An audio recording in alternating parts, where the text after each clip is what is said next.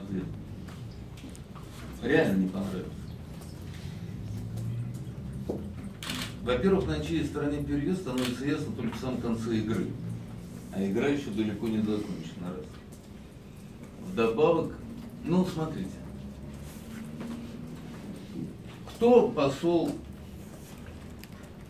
Армении в России? Кто? Вы его знаете? По Конечно, долгу-.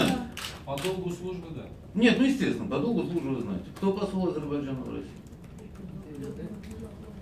Полад Бюльбюлязов. К сожалению. Ну, не к сожалению, он гражданин своей страны, он там с историей. Речь же яркий человек. Я не понимаю другого. Посмотрите, сколько этнических армян, сенаторов, в Думе, всюду есть. Начались события. Где? Где слушание Государственной Думе? Где движение посла? Где какая-то активность со стороны тех людей, которые должны встать и сказать, вот наши интересы такие, вот мы считаем тут, вот мы считаем. Ну хорошо, мы с Дмитрием Константиновичем станем, здорово. Но вот можете меня просто через любой микроскоп пропустить, ни грамма армянской крови не найдете. У меня здесь нет собственности, нет машины, ничего нет. Несмотря на сказки, которые рассказывают, что Соловьев подарили. Золотой Феррари в Карабахе, бриллиантовый в Москве. И это. Но этим должны заниматься люди вот, в силу своих профессиональных обязанностей. Посол должен был быть всюду уже и бить тревогу. Ну да, конечно, есть понятная система отношений у вашего президента с президентом России. И очень хорошая. Очень хорошая. Иначе бы не было того, что увидели 9 мая, и ситуация бы так не разрешалась. Понятно, что с той стороны это гигантская проблема. Для них же это тоже, вы заметите, для Азербайджана это очень болезненная тема. И когда будут приближаться любые выборы там, что они предъявят? То есть, конечно, им будут все время говорить, ну хоть что-то верните, ну хоть что-то сделайте. Они тоже под бешеным давлением. Россия, конечно, может сказать, а вот мы сейчас тут. Ну, дипломатия так не бывает. Дипломатия очень сложная вещь.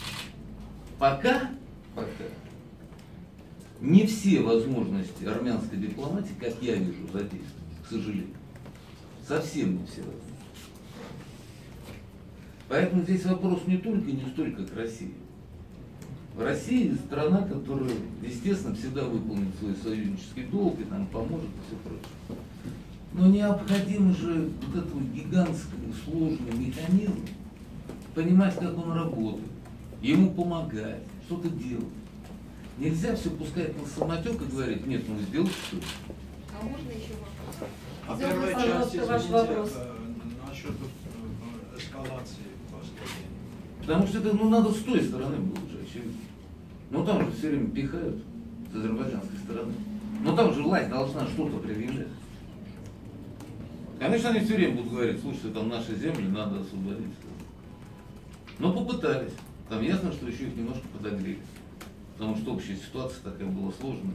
Притом ясно, что вы играли вторичную роль, надо было втянуть Россию во что-то. Мы же тоже это все считаем. Мы же хорошо понимаем, что задача какая.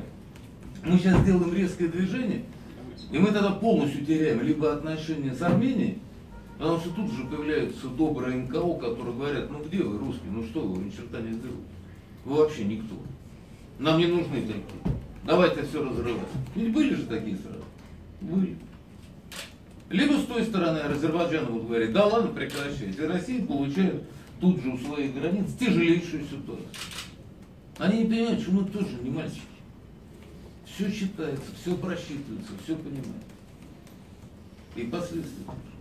Тогда же, вы помните, были сложные отношения с Турцией, вежливые. Поэтому же понимаю, там, кто шел, как шел, кто кого готовил. Ваш вопрос.